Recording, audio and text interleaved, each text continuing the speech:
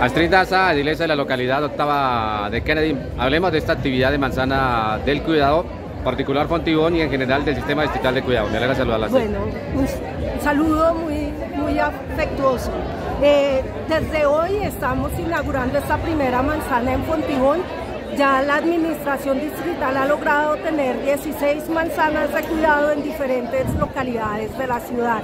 Este programa es un programa que reivindica darle y ofrecerle oportunidades a las mujeres que han sido cuidadoras, que dedican la mayor parte del tiempo a labores de cuidado de niños, niñas, adultos, personas mayores.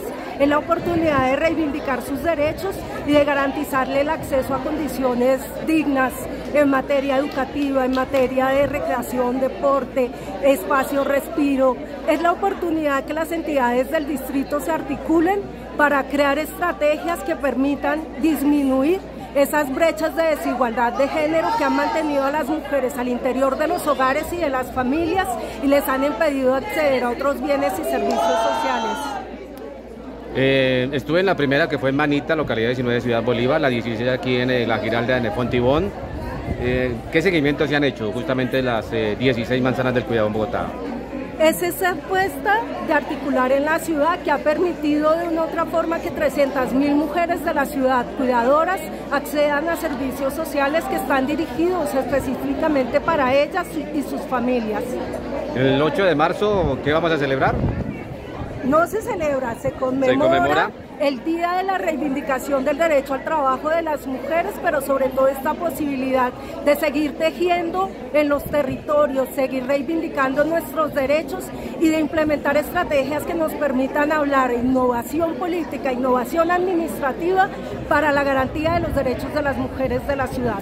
Listo, muy amable. Regálame un último, un segundito para una chiva. Ya, dale. Bueno, y como desde el Consejo Consultivo, yo además de ser edilesa de la localidad de Kennedy, soy la articuladora del Consejo Consultivo de Mujeres de Bogotá.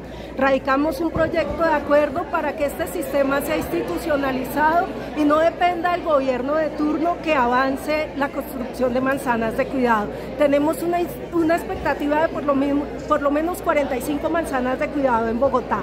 El día de mañana, entre mañana y pasado mañana, estaremos haciendo el primer debate para la institucionalización del sistema de cuidado en el Consejo de Bogotá. Esta es una oportunidad vamos a, hemos tenido un ejercicio previo de incidencia con concejales, de la, concejales y concejalas de la ciudad. La iniciativa la respaldó la Comisión de Equidad para las Mujeres y la Comisión de Gobierno. En este momento 36 concejales se han comprometido con el Consejo Consultivo de Mujeres de Bogotá de institucionalizar el sistema. Entre mañana y pasado mañana tendremos el primer debate. Invitadísimas, invitadísimos a escuchar este debate y sobre todo a seguir trabajando por los derechos de las mujeres de la ciudad.